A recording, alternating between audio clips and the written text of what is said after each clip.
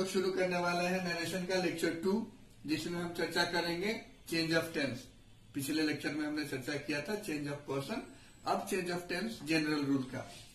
Change of tense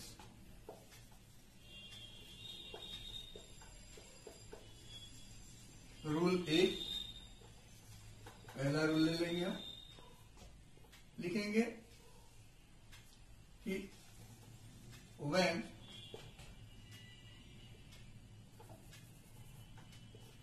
reporting verb जिसको आप R one कहते हैं is in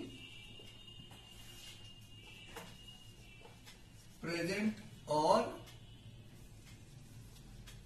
future and tense of reported speech. Is any मतलब present past और future तो क्या हो जाएगा? No change of tense takes place indirect में इसके कोई टेंस के चेंज नहीं होते हैं। एग्ज़ाम्पल हम लिख लेंगे। She says, I went to market.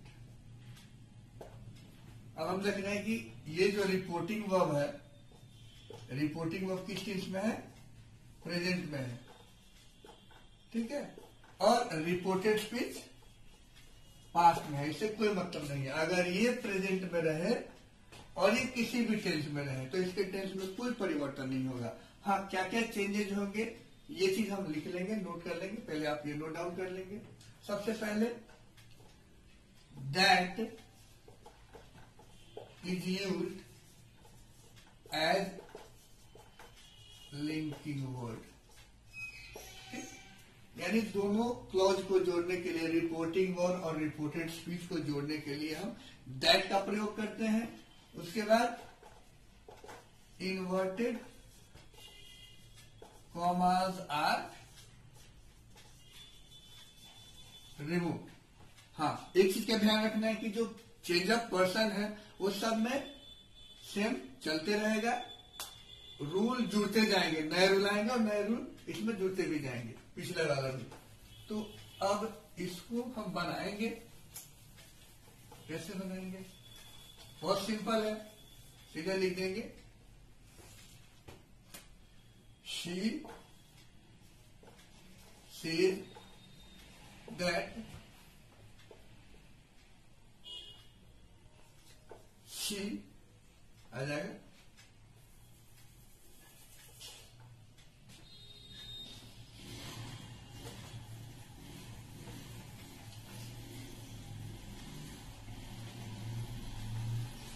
Went to market. दूसरा example he says I am a player. तो क्या हो जाएगा सीधे he says that he is a player कुछ और नोट में लिख लेंगे कि अगर सेज टू या सेड टू हो तो इनडायरेक्ट में टेल्स या टोल्ड हो जाएगा। ठीक है?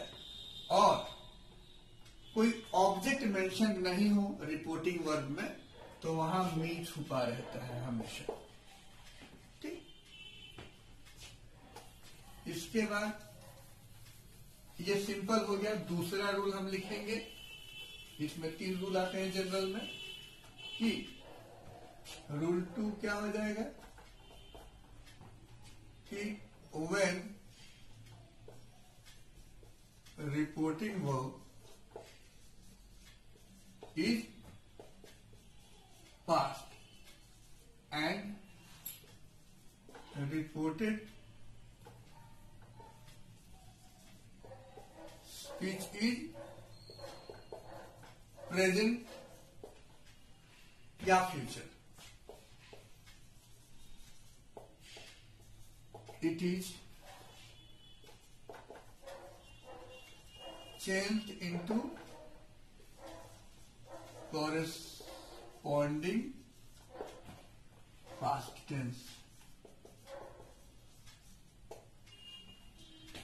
यानी कि अगर एग्ज़ाम्पल एक लिख लेंगे he said I am a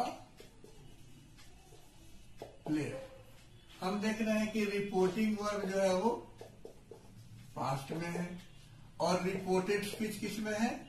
simple present में है। तो इसका नियम क्या कहता है कि कोरस्पॉन्डिंग पास्ट में चेंज हो जाएगा, यानी कि टेंस सिर्फ़ बदलेगा ब्रांच नहीं बदलेगा। जैसे डायरेक्ट अगर डायरेक्ट या रिपोर्टेड स्पीच इनडायरेक्ट में क्या हो जाएगा? अगर सिंपल प्रेजेंट है तो ये सिंपल ही रहेगा। सिर्फ़ प्रेजेंट का पास्ट हो जाएगा। कोरस्पॉन्डिंग पास्ट का ये मतलब होता है कि टेंस चेंज हो जाता है, ब्रांच चेंज नहीं होता है। और अगर प्रेजेंट कंटिन्यूअस है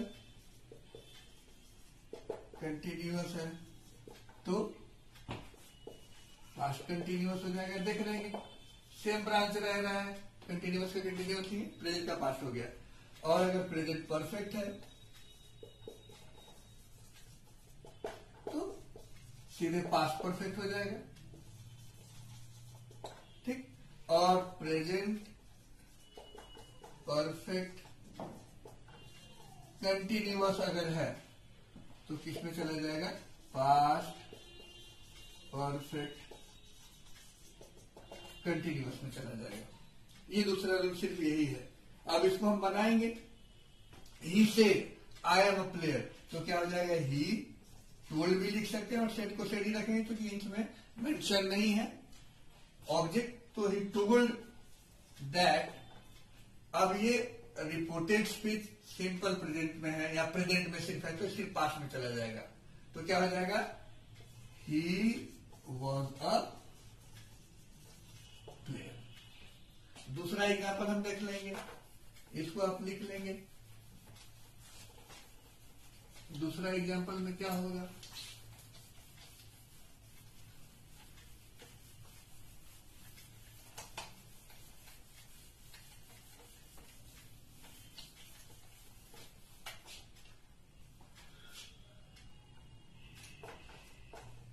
John said to Romy,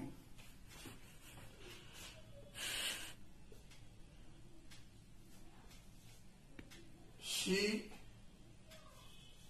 has done well.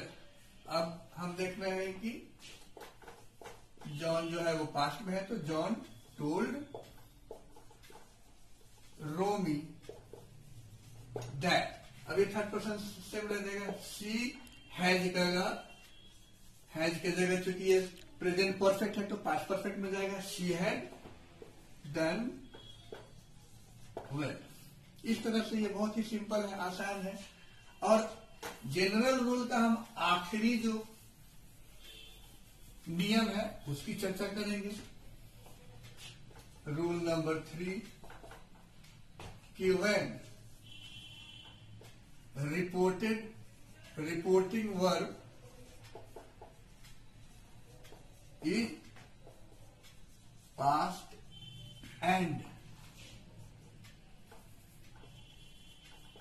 reported speech is also past. It is changed into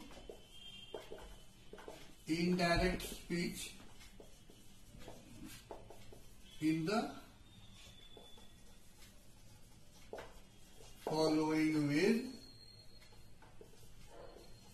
respectively यानी कि अगर डायरेक्ट का reported speech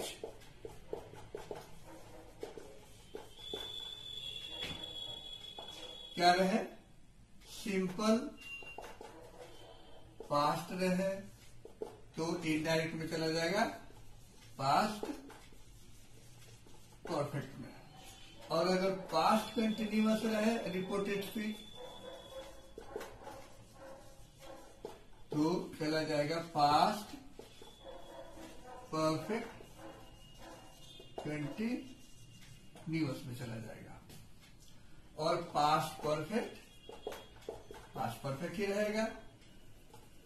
past perfect past perfect रह जाएगा। Past perfect continuous past perfect continuous भी past perfect continuous ही रह जाएगा।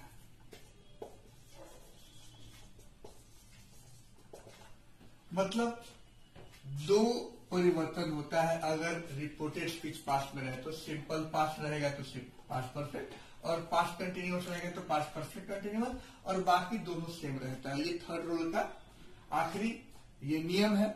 इसको आप ध्यान में रखेंगे। एक एग्ज़ाम्पल हम देख लेंगे। जैसे Rosie example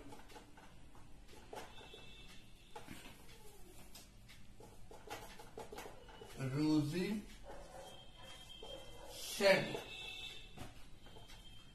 I went to London ठीक? तो हम देख रहे हैं कि रिपोर्टिंग वर्क पास्ट में है और रिपोर्टेड स्पीच भी पास्ट में है सिंपल पास्ट में।